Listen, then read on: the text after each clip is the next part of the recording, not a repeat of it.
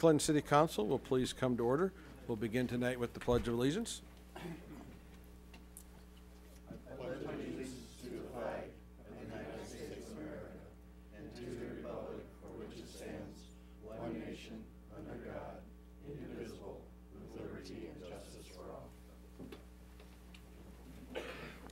Thank you. Could we have roll call, please? Councilmember Gassman. Here. Seeley. Here. McGraw. Here. Detterman. Here. O'Neill. Here. Connell. Here. Thank you. Councilmember Detterman. Thank you, Your Honor. I move to dispense with the reading of the regular city council meeting and committee of the whole minutes of November 8th, 2016, and they be approved as published November 22nd, 2016. Second. We have a motion and a second. Any discussion? Could we have a roll call, please? Councilmember Connell. Yes. Gassman. Yes. Seeley. Yes. McGraw. Yes. Detterman. Yes. O'Neill. Yes. Thank you. We have two public hearings tonight.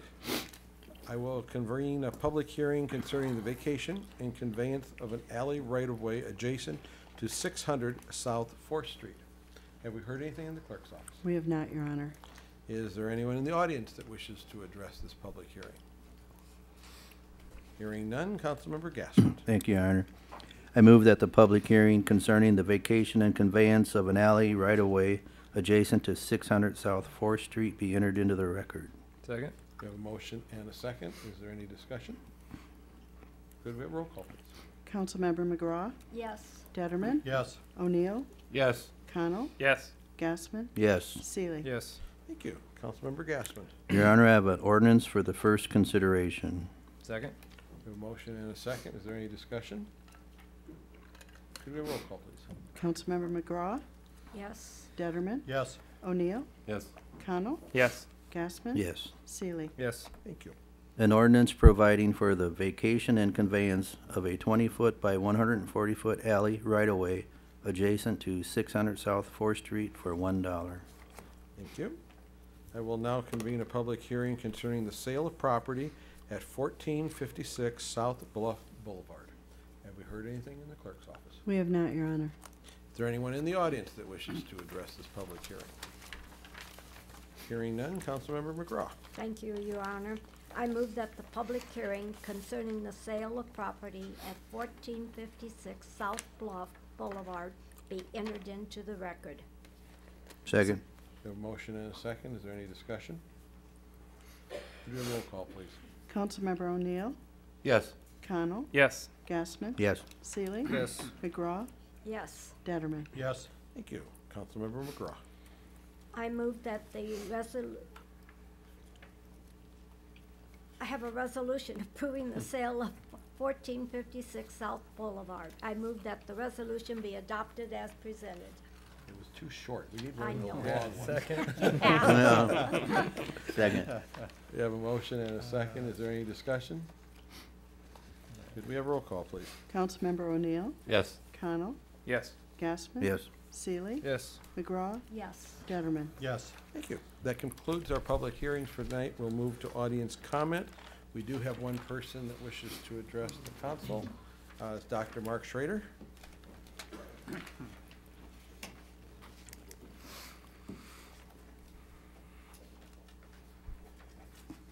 Thank you, Mayor and Council. Mark Schrader, 200 Whispering Pines. I'm Chair of the Parks and Rec Advisory Board, and I'm here to speak on behalf of the resolution providing an agreement with Greenplay to develop a Parks and Recreation Master Plan.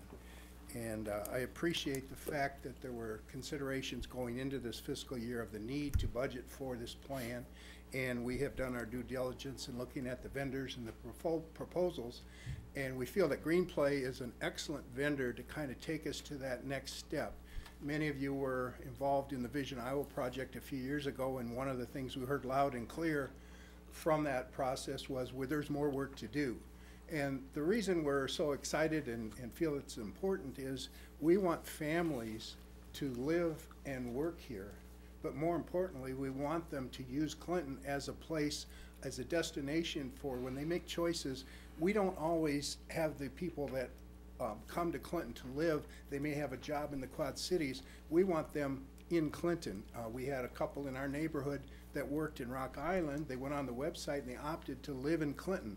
Bought a home in Clinton, had kids in the school system, and in the kind of economic development theater, one of the buzzwords we hear is quality of place. We have to have things for millennials to do, we have to have things for senior citizens to do, and we have to make sure that we have the right attractions that people expect in communities.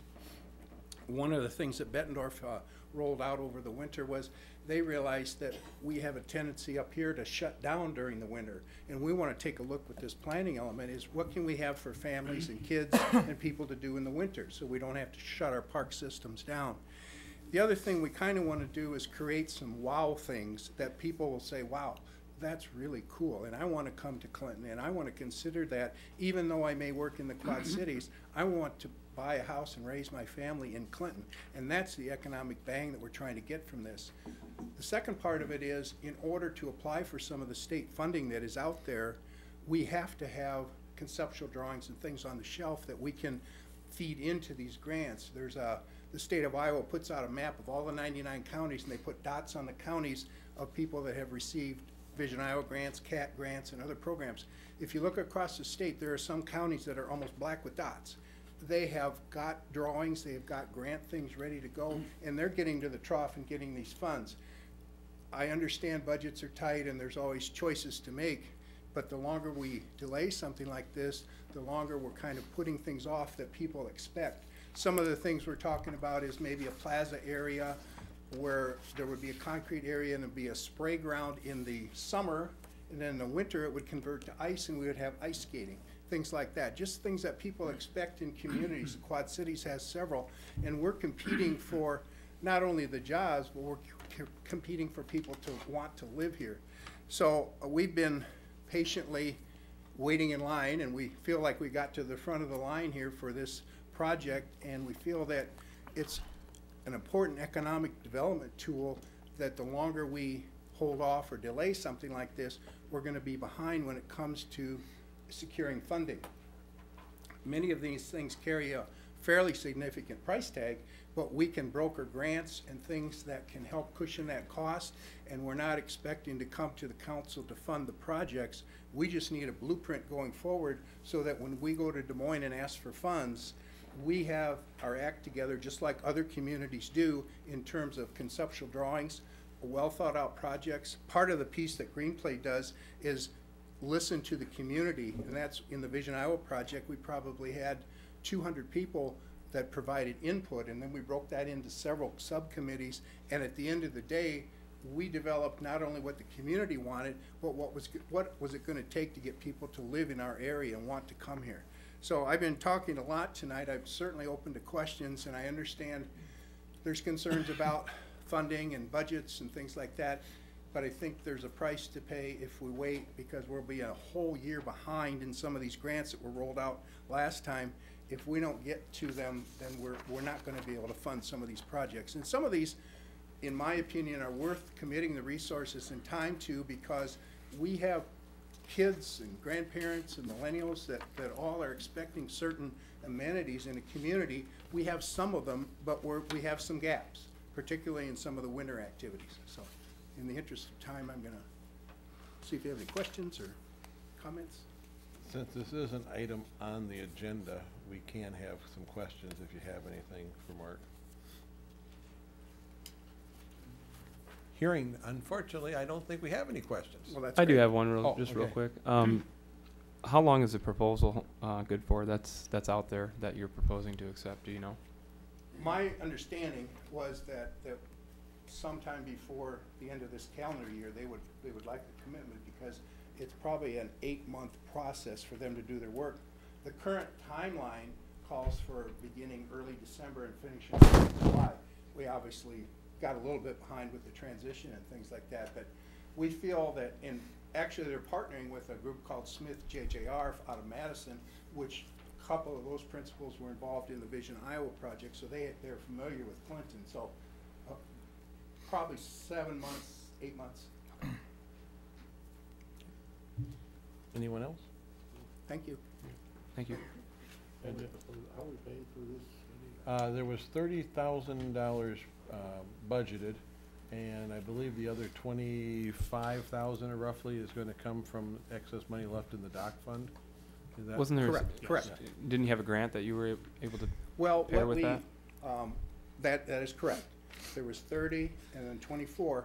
And then there was a thought, if there was some additional community input or surveying or some conceptual drawings that need to be done, the Friends of Riverview Park has some funds available that could be added on to, to, there, there's some options in the RFP that we could fund in addition to what the city had budgeted this fiscal year. So I think the proposal was fifty-four something and there was fifty-five set aside for this project. Well, not really, thirty was set aside, but there was twenty-five available Correct. in the, in the dock fund.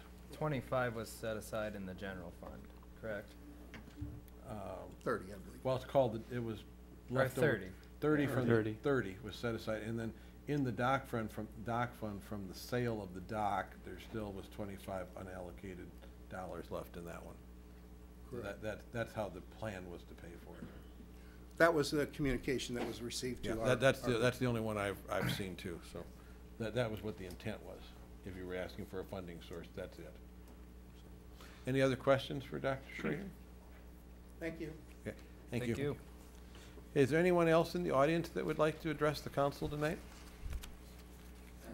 Hearing none, we will move on to the consent agenda. Councilmember Detterman. Thank you, Your Honor. I move we approve the consent agenda as presented on the attachment. Second. We have a motion and a second. Is there any discussion? would like to pull one? Okay, and Number one. Oh, yep. Number one, sorry. Number one. What- what- what do you thought think you is wanted to pull one. Pull one. Pull one and be at number one. Yeah, okay. Okay, anybody else? Okay, could we have uh, a roll call vote on the balance of the consent agenda, please? Councilmember Connell, Yes. Gassman. Yes. Seeley, Yes. McGraw, Yes. Detterman, Yes, O'Neill. Yes. Thank you. We'll move on to motions, resolutions, and ordinances. Councilmember Connell. Thank you, Your Honor. I have an ordinance um, to be read for the second and third consideration. No, we'll do the second first. An ordinance providing No, no, that, we- no, wait, wait, We have to have a second now. I know you're eager to le- read that long one, but we have to have a second. And is there any discussion? Could we have roll call, please? Take a Councilmember deep Seeley, breath. Yes. McGraw, Yes. Detterman, yes, O'Neill, Yes. Connell, yes. Gassman. Yes. Thank you. Now you can read that long one. Thank you.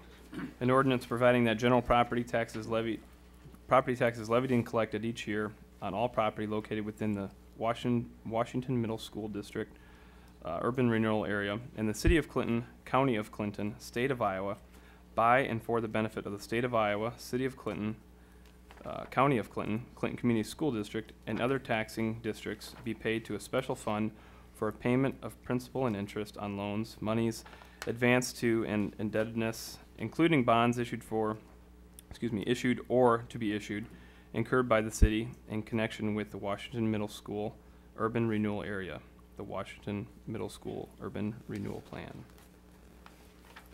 Uh, I move that the rules be suspended and the council consider an ordinance for the third time.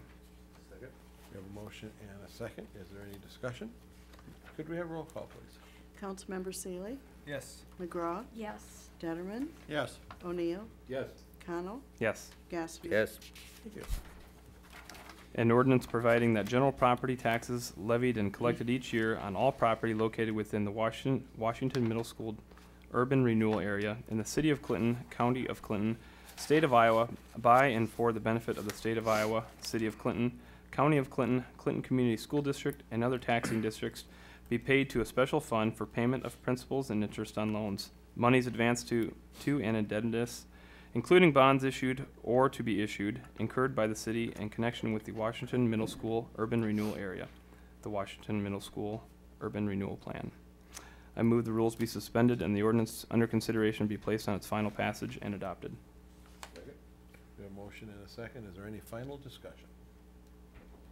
Could we have roll call, please? Councilmember Seeley, Yes. McGraw, Yes. Detterman, yes, O'Neill, Yes. Connell, Yes. Gassman? Yes. Thank you. Councilmember Seeley. Thank you, Your Honor. I move the council consider an ordinance for the second time. Second. We have a motion and a second. Any discussion? Could we have roll call, please? Councilmember Detterman, Yes. O'Neill, Yes. Connell, Yes. Gassman. Yes. Seeley. Yes. McGraw. yes, Thank you. An ordinance providing that general property tax is levied and collected each year on area in the city of Clinton, county of Clinton, state of Iowa, by and for the benefit of the state of Iowa, city of Clinton, county of Clinton, community, Clinton Community School District, and other taxing districts, be paid to a special fund for payment of principal and interest on loans, monies advanced, and to and indebtedness, including bonds issued and or to to be issued incurred by the city in connection with the Saddle Ridge Urban Renewal Area, the Saddle Ridge Urban Renewal Plan. Hmm. I move the rules be suspended and the ordinance be considered for a third time. Second. We have a motion and a second. Is there any discussion? I'll just have one comment. The word principal is misspelled in the ordinance. Oh, yeah. Not good. No. The, the- the final draft, things will, things will get fixed. Um, So could we have roll call, please? Councilmember Detterman, Yes. O'Neill, Yes. Connell, Yes. Gassman. Yes. Seeley.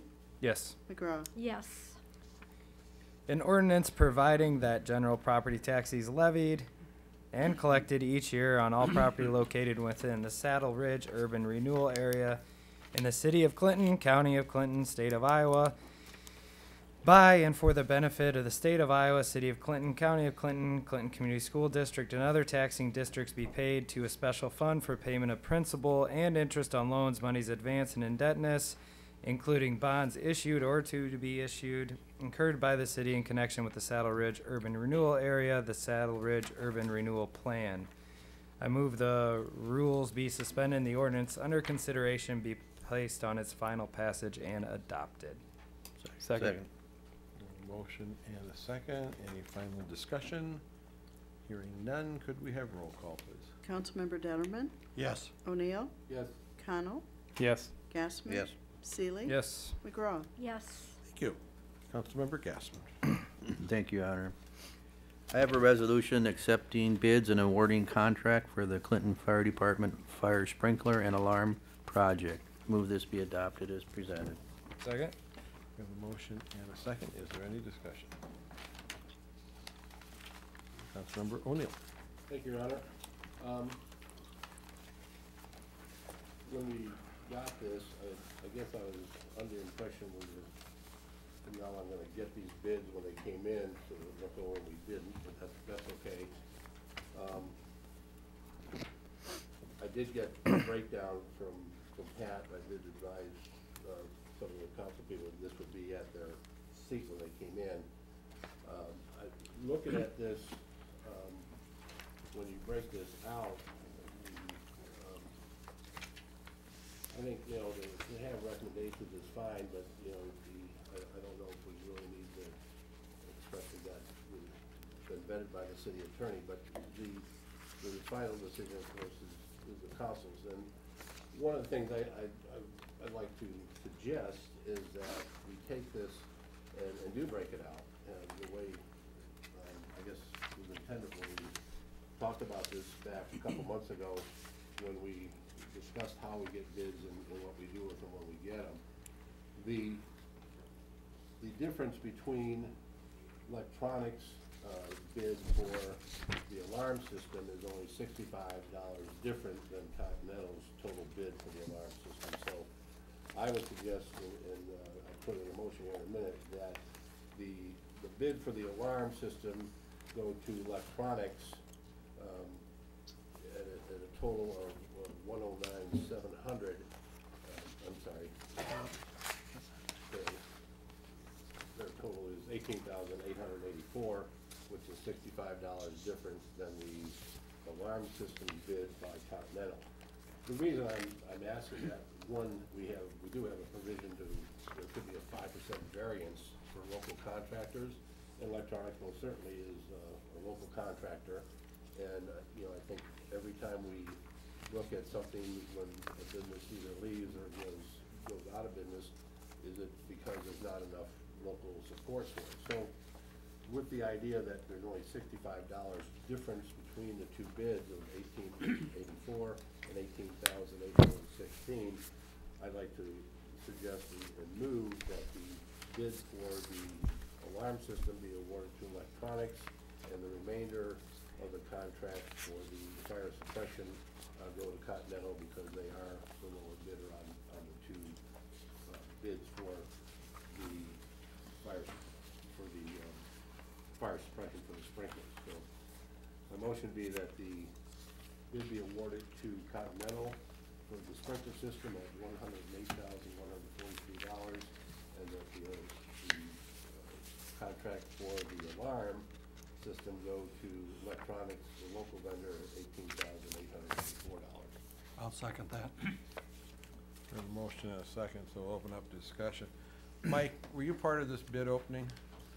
'Cause I, I have two questions before we get too far into the conversation. Good evening, Mayor and Council. Mike Brown, Fire Chief. Yes, In, in the Continental fire sprinkler bid, I'm seeing a breakdown of alarm and sprinkler, but when I see the end, they're putting a total. Are, are they even willing to do the, the sprinkler if they don't sell the alarm, or did they package this as a price and just happen to break it out as the two items? Or, or how was the bid asked to be done? I, I do not know what they're, you know, if they're willing to do one half of it or, or the other. I don't know that. Uh, I think it's only fair, I, I understand what, uh, Councilman O'Neill is saying, the local contractor. Fair to, to make sure that the public and the council knows that Bill Waters, who bid the job from Continental, is also a Clinton resident, um, as well. So, Why would that make any difference? I don't, because we're talking local contractors Well, and it's- local business people. Yeah. I guess that's why. Continental's from the- Um, I've worked with, with all of the vendors for, for over twenty years, so I don't have a problem with, with, with whoever you choose. Um, I just, in my, the way I was taught to do it, the low bid is the who gets it. Well- I vetted it through the city attorney. Um, his recommendation to me was that we just do the one. If you wanna choose a different one, I'm fine Well, with that. the, the reason why I ask is I didn't know if they would actually honor their bid if they didn't do the whole, I don't know. that- Yeah, that- kind of a package price. Your Honor, yeah. to, I, I didn't think that would come up, but I, I, I'm just, Kind of feeling it might, but the, the fact of the matter is, is that the, the difference between the two bids for the sprinkler system is only fifteen hundred dollars. So if they don't, then the other one would still, would still be Okay. the next bid. well, Why why don't you make uh, the motion that if they don't want to uh, split it, we'll award the bid uh, The next, try the state. next, to Tri-State? next responsible Right. bidder, basically. Yeah, Yeah. like I said, either, either of the contractors works for me. I, I really don't care. I just, I'll do a great I job. just wanted to bring that up. Sometime, you never know how they might put something together at a price. But I did have one other question though, just because, because electronics did spell out, and they were very thorough in their proposal, that it was a forty dollar a month monitoring fee per location. Continental didn't say anything, We didn't ask for the, for a, a price on the monitoring fee. so we don't know what theirs is. Theirs could be They're, higher. they're or all, they're thirty to forty dollars Okay. a month. Well, I just wanted to, I was just Uh, trying to make sure we compare all the apples to an apple is all. Quite honestly, electronics, uh, they, they did the alarm system at Chansey. Um, we used them, actually, they helped us put the specs together. Um, they were very helpful that way. Um, so they'll do a fine job either way. Well, I, I realize that. I was just, just trying to, I'm just, I was reading apples to apples. Yeah, and- and, and, in in that comparison also, Continental included two years, uh, w- of free maintenance, inspection, and testing, which is very expensive. Um, that wasn't asked to be included, they did include that in their bid, so that's about eight hundred bucks probably. Okay. I think one of the only concerns I, I had was as long as the city attorney was okay with, um, it being federal money, FEMA money, and we're not really dipping into our pockets on this, that there was a ten percent match, I think it was a ninety percent grant and a ten percent match possibly. Um, we have the right, obviously, if it's our own money, um, for a five percent, I think, vari- variance, you know, to local contractors, well, as long as we don't get in trouble with any FEMA money that we're, we've been obligated, then I think it Yeah, would I make don't sense know to if do, the- and I don't, I don't know. at this what time, they- it- the city attorney told me he didn't think Okay. that was an issue, so. I hadn't had a t- chance to talk to him about that. We talked about a lot of other things today, but I, we don't want to get in trouble with FEMA. Right. As long as he's good. Okay. Pat, you're there, aren't you? Pat? Yes, I'm here. Forgot about you. I don't see a big issue with that, and I, I seriously doubt they're gonna have any issue as long as we're following our local protocols for distribution of the contract. you know, we're so close on the price here that I think the city has a prerogative to prefer, uh, its own policy and consider its own policy if it wants to prefer a local contractor, or if it thinks there's some equity in splitting the contract in order to distribute the, you know, the work to different firms. I think you have the prerogative to do that. I'm not at all concerned about, about it just because of the small difference in price. So I think you're just, you're talking about a practical issue here. Okay. It's, a- and I think it's a council judgment call on how to go about it, and, um, everything that's been proposed, any of those options might work. I think it's a council decision. Okay. Would you Okay, prefer I amend the the motion? uh, Then to, what can be automatically go, then it'll just. be Next done. response. yeah, Amend the motion that if Continental does not accept the, the work, if Yeah. Continental does not accept the work on the sprinkler system because it's, they didn't get the alarm, then we'll automatically give it to Tri-State. Tri-State.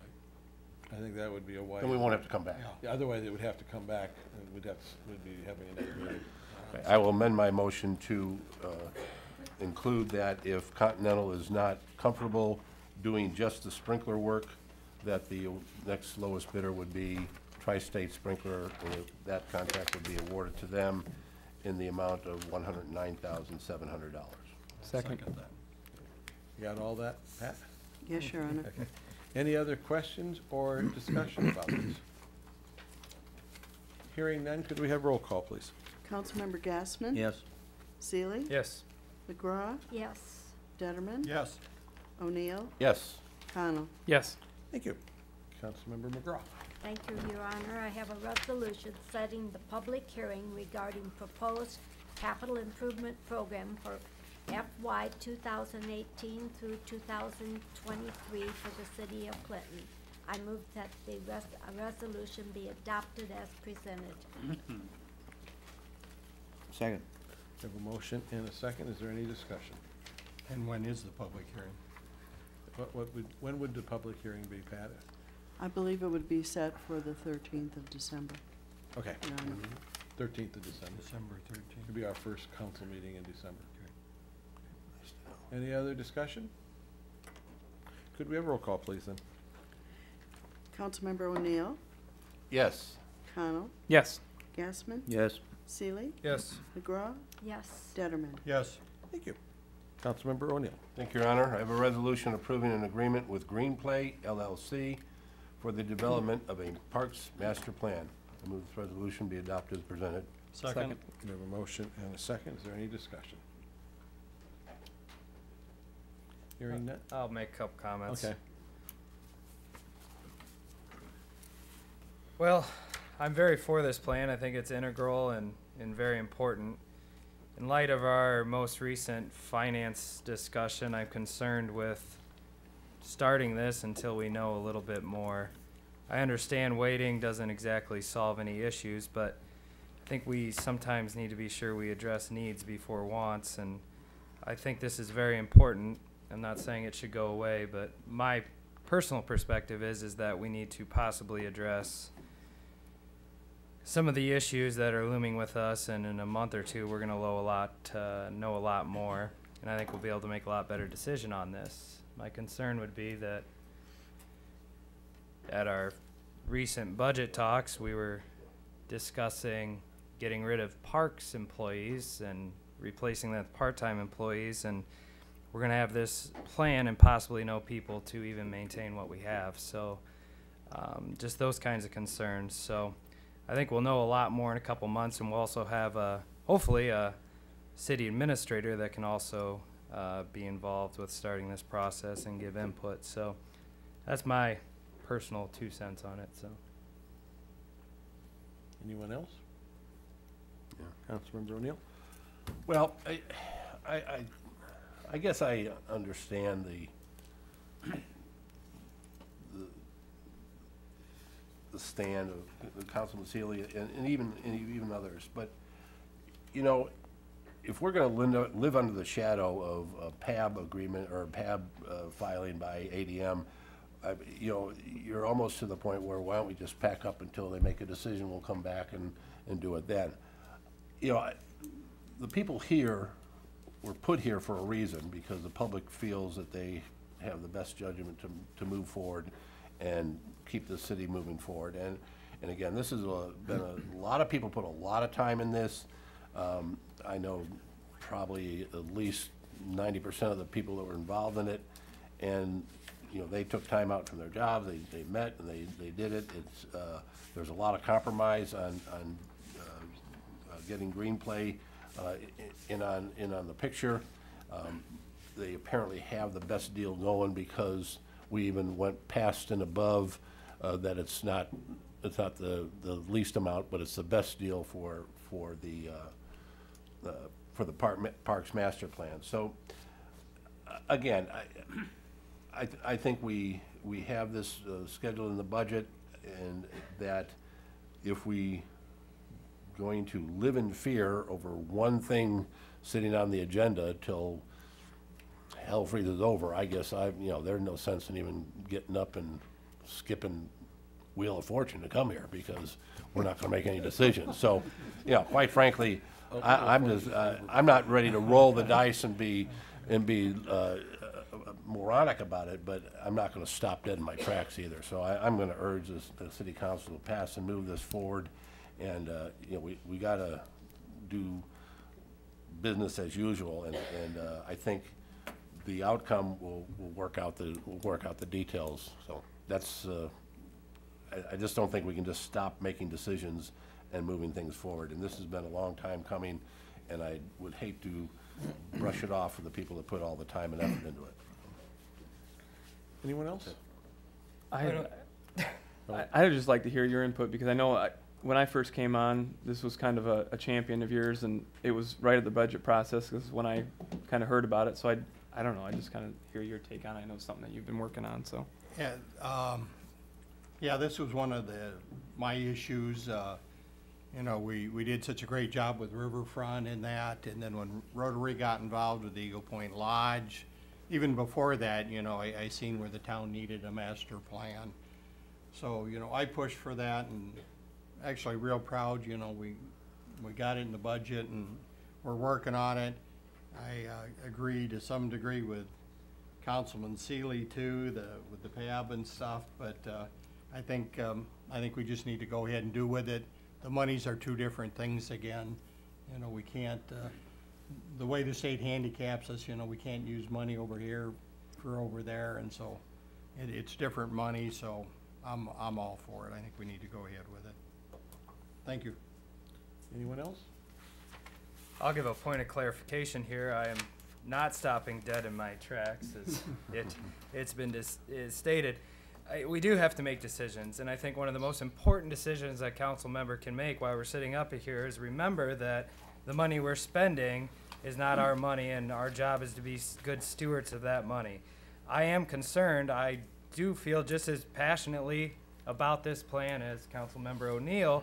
However, I think when push comes to shove, and if things don't plan out as uh, as we're hoping in a couple months, this plan may turn out to be nothing we will even be able to implement for five years, and that's what concerns me. Fifty-five thousand dollars is not a small amount of money, and no, it's not a deal breaker for the city, but it is a relatively significant amount, and simply waiting two months so we know where we're at before moving this forward, I did not feel was a bad decision by any means. So, and I do appreciate everyone's time and commitment that has worked on this plan because it is important, and our parks are very important to growing our community. I couldn't agree more. So. Anybody else? Hearing nothing else, could we have roll call, please? Councilmember Gassman? Yes. Seeley? No. McGraw? Yes.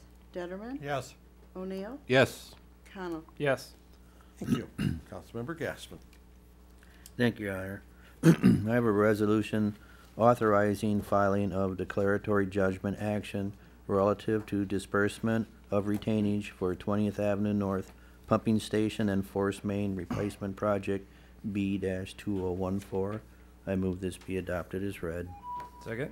Got a motion and a second. Is there any discussion or questions? Hearing none, could we have roll call, please? Councilmember McGraw, Yes. Detterman, Yes. O'Neill, Yes. Connell, Yes. Gassman. Yes. Seeley. Yes. Thank you. That concludes our motions, resolutions, and ordinances for tonight, and we'll move to unfinished business, of which we have one item. And the fir- is item number one, and Councilmember Connell, I'm assuming you want to abstain? That's correct. So would someone else like to present item number one for approval? And I'll jump in at once. I'll I'll I'll move. Second. So, someone, did someone, who made the motion? Councilman Seeley? I, I, I'll move it be approved. Pat, Pat, do we have someone down for a, a motion in a second? I do now. Okay. Yes, Your Honor. I was hearing two directions there, so, okay, we have, we have a, a motion and a second to approve item number one, so could we have roll call, please? Councilmember Gassman. Yes. Seeley. Yes. McGraw, Yes. Detterman, Yes. O'Neill, Yes. Connell. Abstain. Thank you. That concludes our unfinished business for tonight. Councilmember Detterman. Thank you, Your Honor. I move we adjourn to seven PM, December thirteenth, twenty sixteen. Second? We have a motion and a second. Could we have roll call, please? Councilmember Connell, Yes. Gassman. Yes. Seeley, Yes. McGraw, mm-hmm. Yes. Detterman, Yes. O'Neill. Yes. Thank you. We are adjourned, and we'll move immediately into our Clinton City Council Committee of the Whole for November twenty-second. And whenever Pat is ready, we'll have roll call. Councilmember Gassman. Here. Seeley, Here. McGraw, Yes. Detterman, Here. O'Neill, Here. Connell. Here. Thank you. Our first item tonight is the cast request to replace a new sign on Riverfront. And it's got Pat O'Connell or Dick. Who wants to address that? Pat, or, I, I can certainly talk about it. Um, I don't think too much needs to be said. All I will recommend the council do tonight is, uh, consider the advice provided, uh, in confidential memorandum, uh, from Steve Leidinger, my colleague. And I think you move it forward to a public hearing for the reasons stated in that memo, just to make sure there aren't any concerns on the part of the public before you proceed, uh, to place the, the sign. You know, as, as you know, we're recommending we go ahead and, and allow that, but I think you just hold a public hearing and make sure there's no member of the public that would object to it. I can't imagine there would be, but, uh, just out of an abundance of caution, I think you do that. okay, does anyone have any questions, Pat? I'll make that motion. Second. Okay, we have a motion and a second to move the resolution forward Do a public, oh, we need to to. public, to set the public hearing. Okay, The thirteenth. if there's no other discussion, Yeah, there is. okay. How, Councilmember how Ernest? long is the public hearing gonna take to get set up, and how long is it gonna? We can approve it the thirteenth too. Uh, Yeah, I, I just think you set up, you set a public hearing for the next, uh, Council. the next council meeting, and I think the, the resolution could follow that on the agenda. Yeah. Okay. Um, there's a representative from Cast here. Is that gonna mess up your plans any, or? No, But- and I, in my no, no, I- I was- cast is very much in favor of this, there's I would- certainly not gonna be an obstacle. No, I, I- I was talking to the representative No, of Cast. we're- we, we have a judge standing in front of us. that- Reti- no, no, no, retired. A retired judge. I think that still trumps a, a, a- an active attorney. Uh, no, it does not. No? I'm giving you more power than you realize. No. Thank you. Uh, Dave Severide, thirty-seven twenty Valley Oaks Drive, Celebrate Clinton. Um, Happy birthday. That's fine, Th- thank you. That's, that's fine. No, we're, well, the, the delay is not a problem. Okay. Uh, and I, I think the public hearing is a good idea. But I would like to ask, uh, the city attorney, the last time we were talking about this, we were, one of the things we wanted to check is see, if this is approved and we go down to get the permit, if they say, oh, you, this is, you've got to get a zoning variance, we were, we were wondering about that. This is a city sign on city property. It, re- it's only replacing the top of an existing sign that was placed there for the Riverboat Casino in nineteen ninety-one. Presumably a variance was granted then because zoning hasn't changed for the park. I was wondering, you know, that's gonna come up. City staff is probably gonna raise that issue when we go for the permit. Uh, Sorry, I don't wanna interrupt you, Your Honor. Yeah, no, but, I'm- Um, the, the city staff will be briefed on, on the same analysis that I provided, uh, to the city council. And I think probably you and I should talk on the phone and I can explain to you kind of where we're coming from, and I think it'll make a lot of sense once we do that. Okay, that sounds fine to me. The, the public is a good idea. To say, what Steve Leidinger and I concluded is slightly different than what you and I talked about, and I think it works just fine. I'll look forward to visiting with you then. Thank you very much. Any other questions? thank you, Your Honor. Everybody have a happy Thanksgiving. Thank you. Thank you, sir. Thank you, Pat. And I hear, I hear no other discussion, so could we have roll call, please? Councilmember Gassman? Yes. Seeley? Yes. McGraw? Yes. Detterman? Yes. O'Neill? Yes. Connell? Yes. Thank you. Our next item is the Elliott Mediation Settlement Offer. Well, I'll give you a summary of what transpired. On November tenth, myself and Pat met with the representatives of Elliott Equipment and a mediator, Peter Gardalos of Waterloo, and the attorneys for Elliott. Uh, we had a discussion that went over three hours as far as trying to work out some um, amicable agreement. And basically, we have an offer from Elliott, and this is not an offer that's open for negotiation. This is their only offer. So, and here's what it consists of. They are willing to pay us a lump sum payment of thirty thousand dollars in cash, which represents twenty thousand dollars uh, toward the equipment that we purchased from them, and ten thousand dollars as a credit toward the, the carts that we have on order, which then equals thirty thousand dollars. And then they are also, I find, they have provided, uh, they are also claiming that they have provided the following to the city of Clinton to assist the city as a gesture of goodwill and good business practice for a longtime customer. And what they have provided with, is the city with garbage truck for a total of twenty-two weeks. Seven weeks were free because the city truck had- was late for delivery. An additional fifteen weeks of free rent was provided at fifteen hundred dollars a week for a total of twenty-two thousand dollars in benefits to the city. And additionally, Elliott discounted the truck bought by the city for fifteen thousand dollars for a total of thirty-seven thousand five hundred dollars in benefits to a good customer. So there's thirty-seven five in goodwill and benefits and the thirty thousand dollars in cash. So the, the, the overall is sixty-seven five hundred. And so really, that, that, that is what the offer that we were able to mediate. It, and it's really uh, whether the council wishes to move forward with a resolution to accept that, or your other option is, we've already given the city attorney the direction in closed section to what our next course of action would be. You, you, you have your two, two choices. So that's really the, that's our discussion topic. Councilmember O'Neill. Thank you, Your Honor. Um, you were saying thirty thousand in cash. uh, I thought part of it was a credit towards the garbage. Well, cans. that's the same as cash because we're not gonna pay it out Okay. to them. Well, I guess when I, when I read this, it, it was fine until when I, when I was reading these twenty-two thousand dollars that they, um, gave off, uh, for late deliver, delivery. Again, you know, the, the contract called for a delivery date and, you know, I, I guess, uh, part of my thought process is that the manufacturer is probably reimbursing for the delivery being late who, who put it together. And the fifteen thousand dollars, all these were, were given that they would give to any good customer. So it's not anything out of the ordinary. If, if Joe Blow is a good customer, they would have given it to them. If we didn't have this pro, if we didn't have this situation, we would have gotten that thirty-seven five no matter what, because we're a good customer. So we never raised the issue uh, of, of past billing or anything else um, uh, that we've lost and, and, and did not collect on because we did not have the equipment.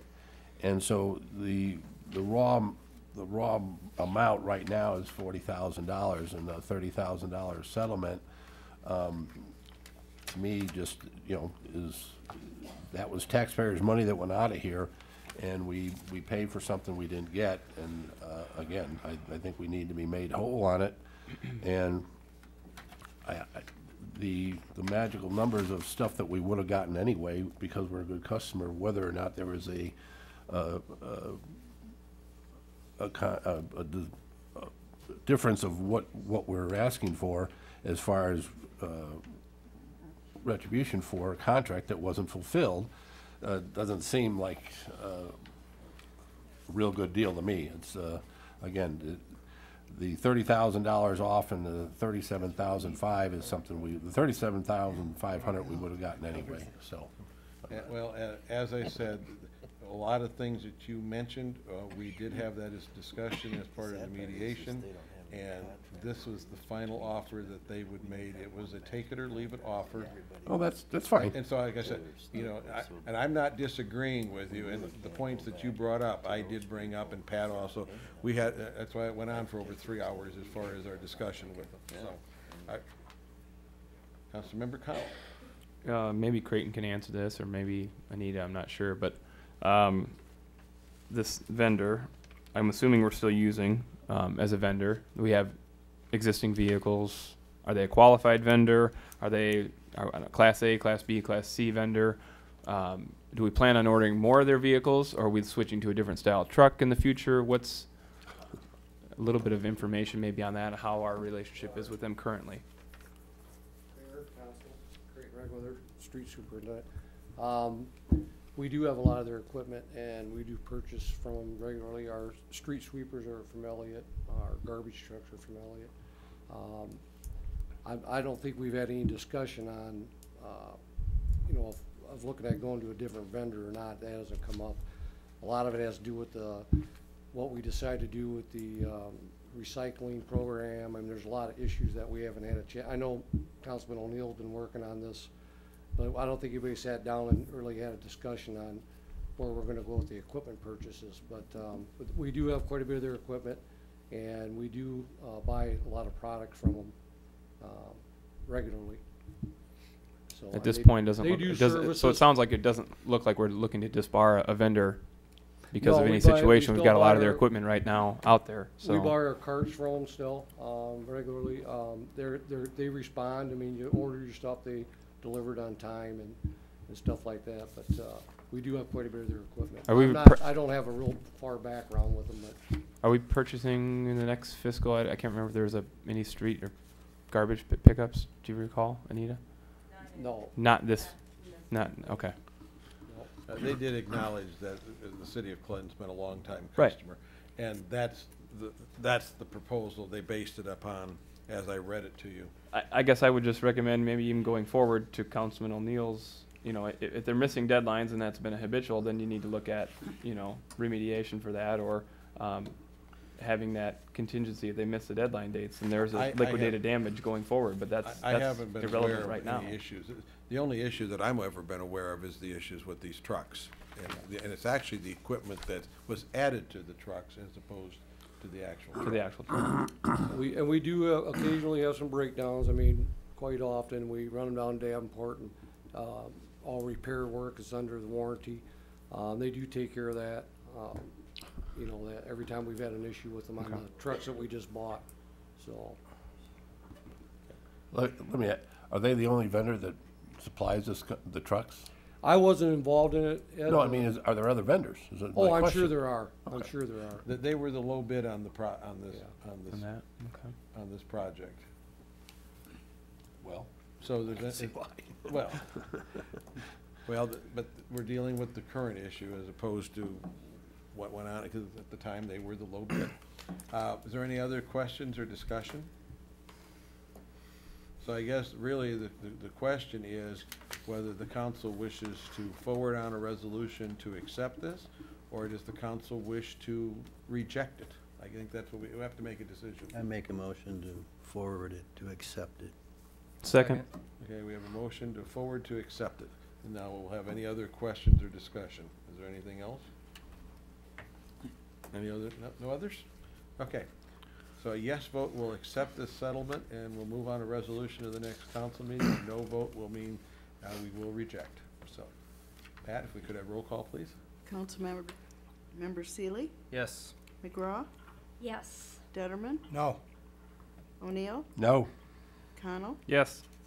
Okay, so- Gassman. Yes. So that does pass four to two. Thank you. We'll move on to item number three, the sidewalk replacement of Buell and Cleveland. Dick, I'll, I'll turn this over to you. Your Honor, City Council, I have to confess to being somewhat embarrassed that my first formal presentation to the City Council starts out with me saying, I would like to withdraw this from council consideration. Um, This came to me because of a, because of a situation with a property owner in, in the Lyons District. And I went up there and met with him, and I also met with Jason, and we realized we had a significant problem. And at the first blush, Jason and I realized we did not have a reasonable alternative to deal with this, which prompted the memo that you got asking for a council uh, direction on it. Jason and I have talked since then, and we've also had some con, uh, con, I'm sorry, some contact with the, with the contractor on this position. And Jason believes that we can work out an amicable se- uh, settlement on this, on this problem without having your direction involved in it, which I believe would have been a difficult situation for you to be in anyway, and I apologize for that. I also want to tell you that I recognize we have a procedural problem uh, with our inspections, because this job was not inspected as a final, and therefore this, this slope problem got missed. And this is a- an issue that Jason and I will be dealing with. So I promise you that will be addressed. Okay. Thank, Perfect. So we'll Withdraw that for tonight's discussion. Thank you very much. This is the easiest one on the agenda. Yeah. Oh. oh, the last one is, the last, take my next one. the- the last one is the easiest. He must have somewhere to be. No. Yeah, he wants to get down there. Uh, no, no, no. Okay, we, we will move on to item number four, large item curbside pickup. Councilmember McGraw. Well, we've, t- I've heard talk about this before, and recently we've been talking about the abandoned houses, doing something about them. We've been talking about doing something about sidewalks.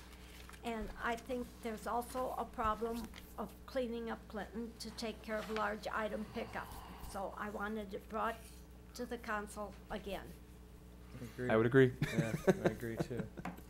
How much does it cost to do the large item pickup once a year, twice a year? Um, Do you want to address that, Anita? Sure. Okay.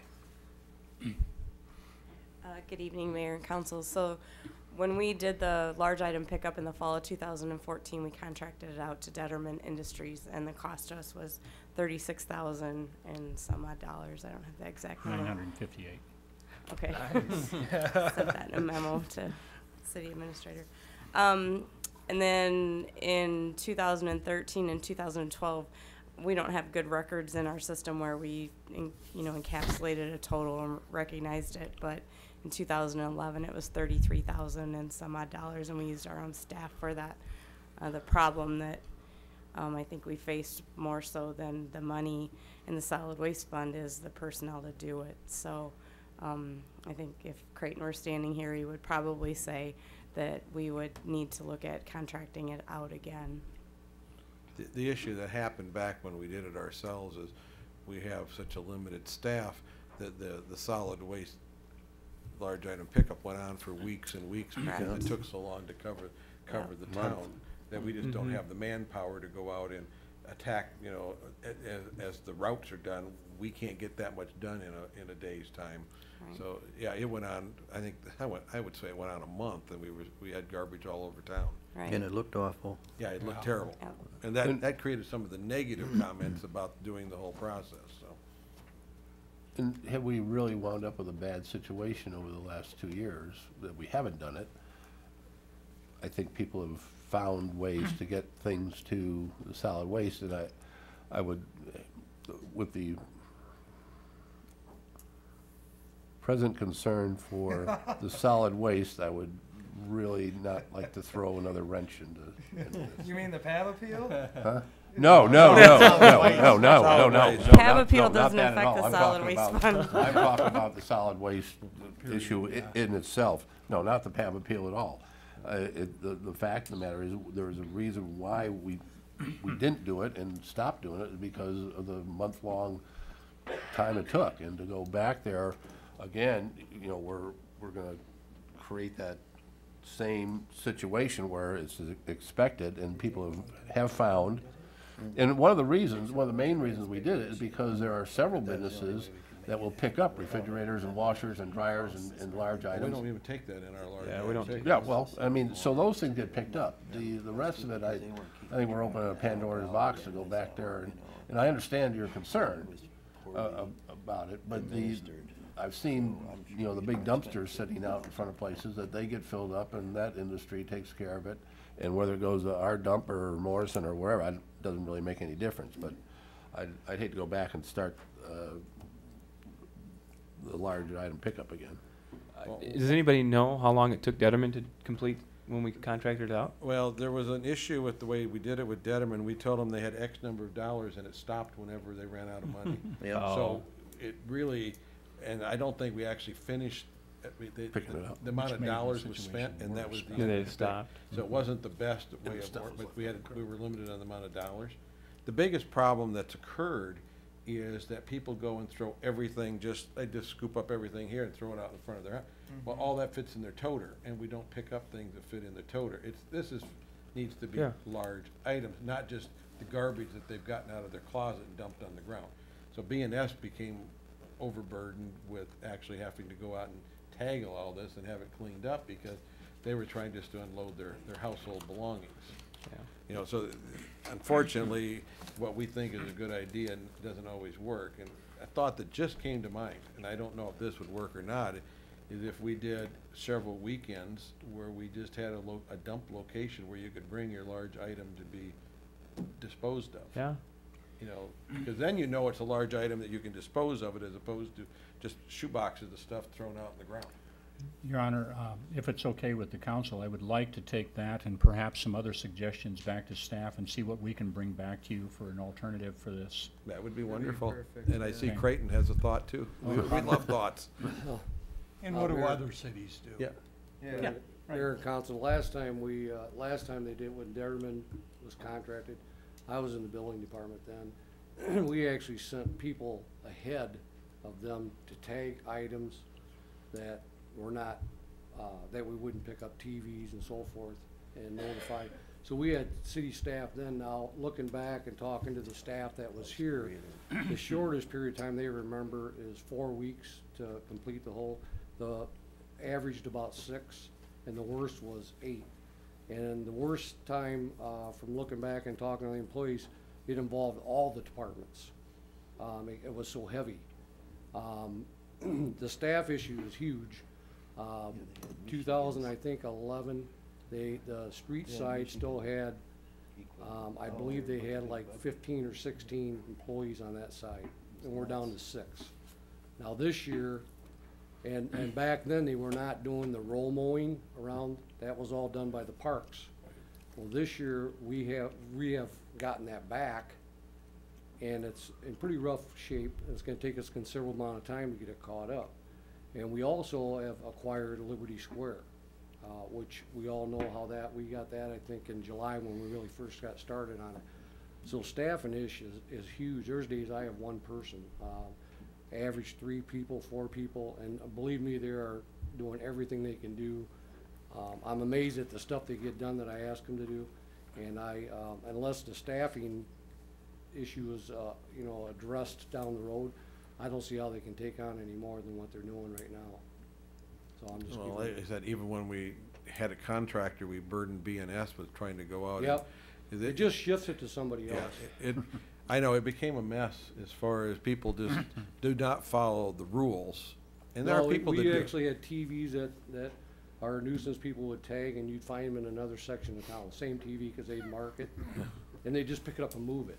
It's like this one here. I'll- Huh? They have to pay Yeah. for it to do Well, that. we were, we were all picking up today, cause we, we go, today we went out, I went out with, uh, one of our other drivers, you know, we saw bags out in the road. And we went to one place that was a complaint, we never even made it there. We started on the bypass, by the time we even got to Second Avenue, we picked up six TVs, uh, fifteen, twenty bags of leaves and garbage, and so I'm gonna have to send them back another time to the original complaint, because we never made it that far. So, yeah, it's, it's, I don't know what to do with it, we, we pick up tires all the time out, it's all mostly out in the, uh, rural area of town, you know, on the, on the gravel, that's where most of the issue is. Tires is another issue we have. Uh, I picked up thirty-two of myself one day in the pickup truck. Them are constant, we pick them up, so there is a problem, I don't know what the real answer to it is, but I do remember all those years we did the pickup. It looks like a war zone for months, so. Now, that was really my thought, if we make them, everybody bring it to one spot or two or three spot, then it's not piled up in front of everybody's house. I'd say let's let the Yeah. Deacon staff, uh. Yeah, come at back it, with an back. idea, give us some Thank you. suggestions. Yeah, Thank you. sounds good. Okay. Chief Brown, we got some s- surplus property to declare. Good evening once again. Um, some of you might recall this conversation back when we were in the process of purchasing our truck. Uh, just as an aside, uh, Battalion Chief Atkinson and I just rolled back into town about six o'clock today. We, we went up to Appleton, Wisconsin and did a final inspection on the new truck that'll be coming, so it is time to get rid of these old ones. Um, we were short about, I think, twenty-three thousand dollars, uh, when we, when we got the bids for the truck. Uh, we were able to realize some savings by paying ahead, which was a good deal. Uh, but it's time to get rid of these.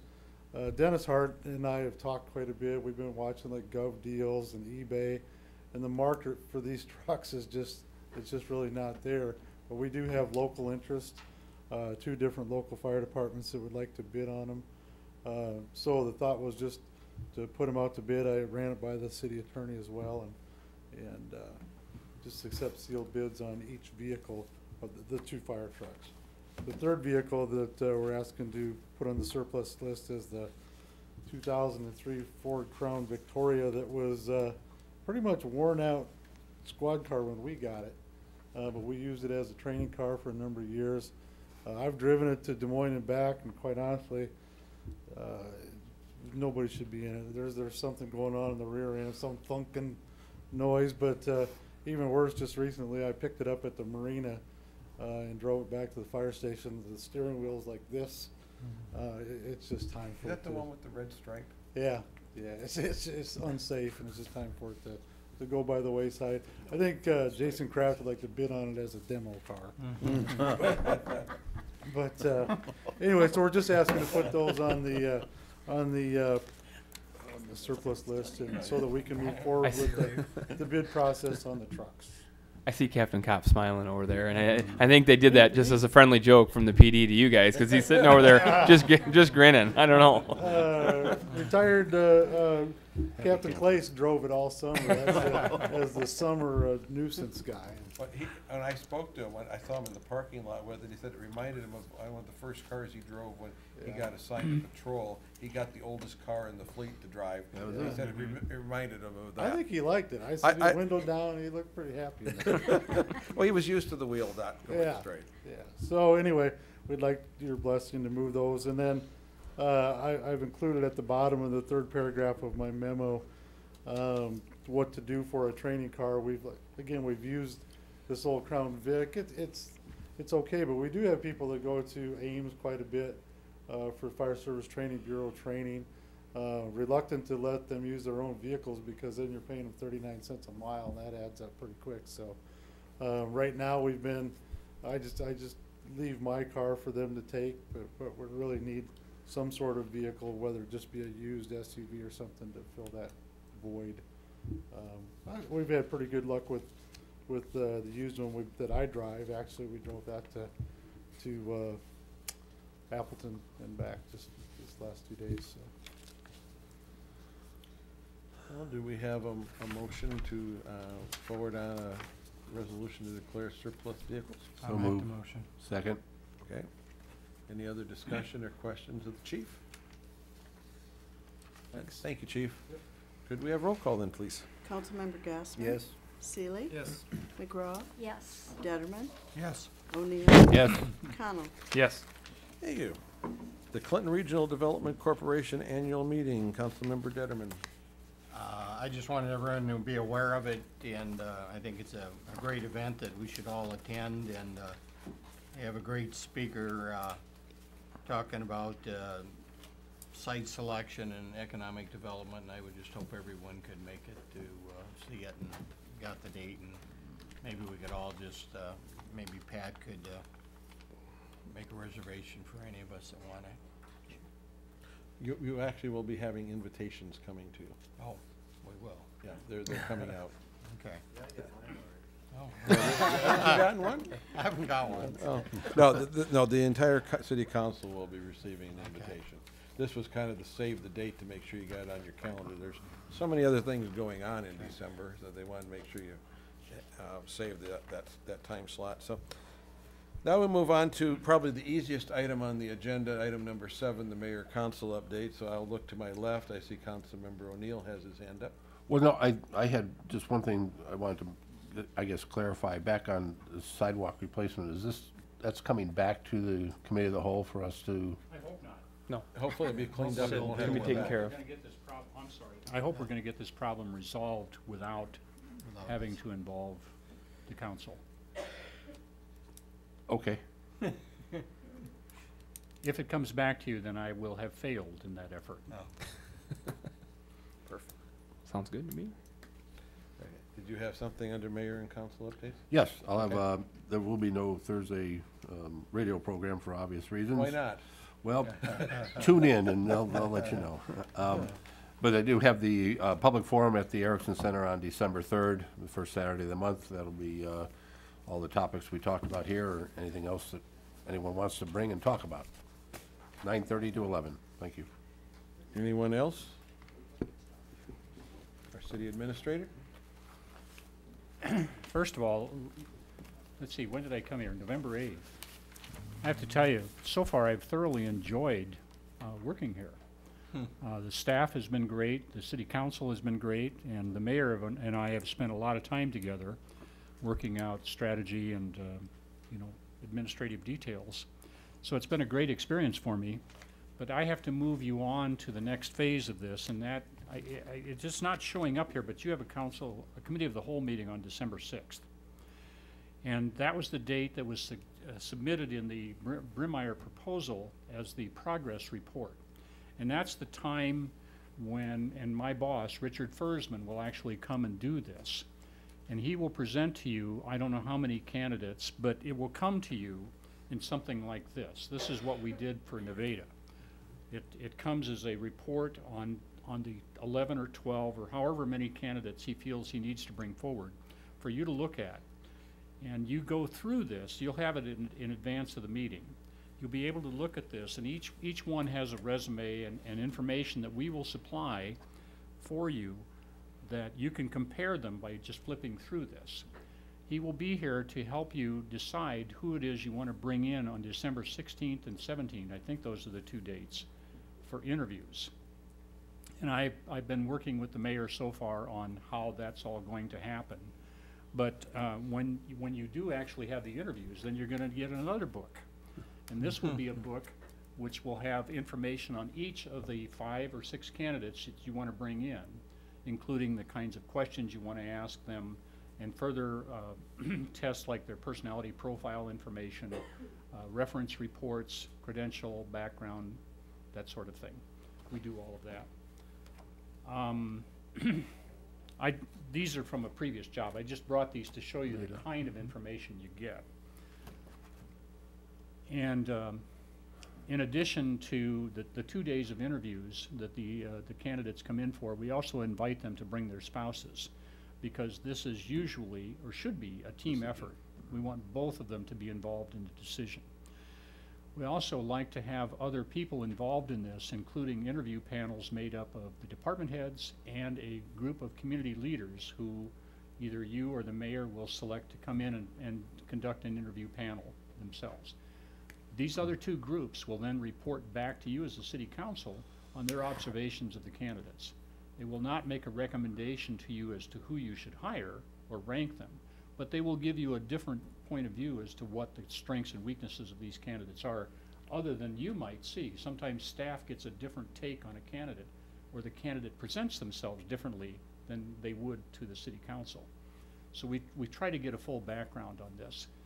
Uh, On the Thursday, or I'm, I'm sorry, on the Friday that the candidates come in, we would give them a tour of the city conducted by either you folks or the, the staff, usually the staff, because it's a facilities tour.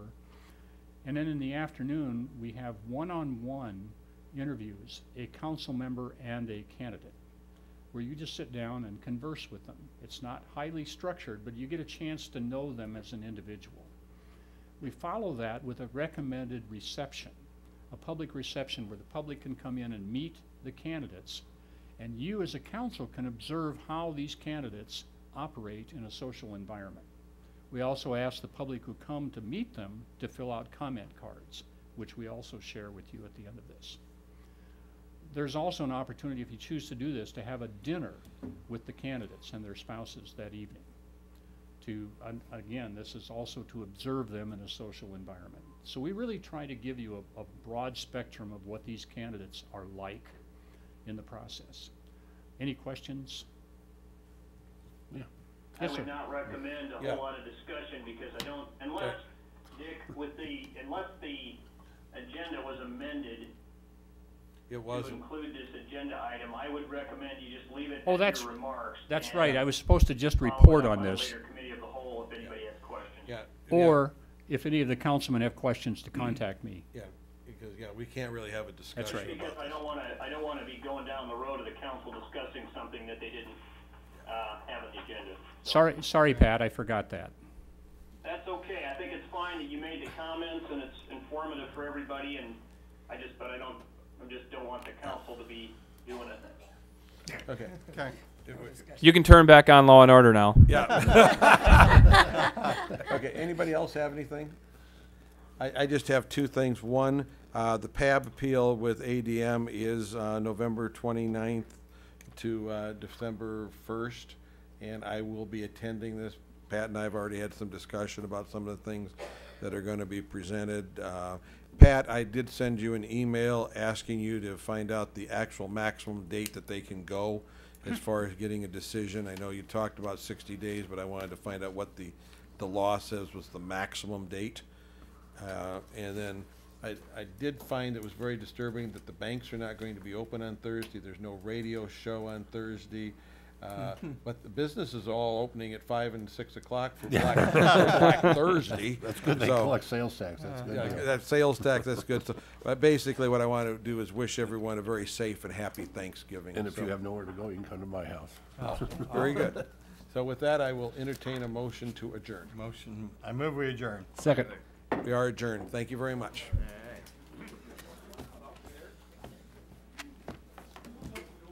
Thanks for backing that up. Yeah. Appreciate it. I know, oh, I know, you're, you're, you're, you deal with that thing.